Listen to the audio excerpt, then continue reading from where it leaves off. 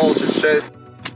Ja sam Ivan Smolčić, dolazim iz Gospića, igrač sam nogometnog kluba Rijeka. Ja sam Hrvoje Smolčić dolazim iz Gospića, igrač sam Eintracht Frankfurta. Pa vjerojatno kao i svako dijete, uglavnom otac i mene i brata isto od malena nogu, loptu nam je stavio u noge i od tud je sve krenulo. Tata je također bio nogometaš i evo samim tim i mi smo krenuli njegovim stopama. Pa treneri su nas uglavnom prepoznavali po kopačkama i to je nekako uvijek bila ajmo reći, naša obaveza da imamo različite kopačke. Ja sam dešnjak, on je ljevak, tako da mislim da im je to isto na terenu pomagalo jer to se odmah da, da primijetiti. Što smo stariji, malo smo i različitiji, pa eto, mijenjamo se. On je meni pomogao za matematiku, ali ne bi u detalje, tako da... Da ne bi slučajno sreli poslije ovaj profesore, bolje ne odavati previše. Da, da.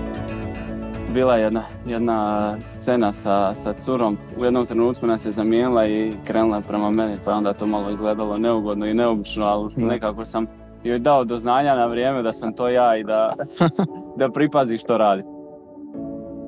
Desna noga, s obzirom da je ljeva, jedna, a, jedna kriminalna četvorka. pa osmica. Lijeva noga, isto tako neka slavašna četvorka, više na trojku vuče. Lijeva noga kod njega, ajde, to, to mogu pohvaliti, to je American osmica. Pregled igre, pa osmica. Pošto si stoper, zadnji si igrač, moraš malo imati bolji pregled igre, tako da osmica. Pa mogu reći da, da je to jedna od njegovih boljih vrlina, tako da osmica devetka, da. Najdraži trenutak u Rijeci su sigurno prve minute u HNL-u koje sam imao na Rujevci ovaj, za, za NK Rijeku sa, sa bratom na terenu. protiv Hajduka na poljudu 4-0 kad smo pobijedili.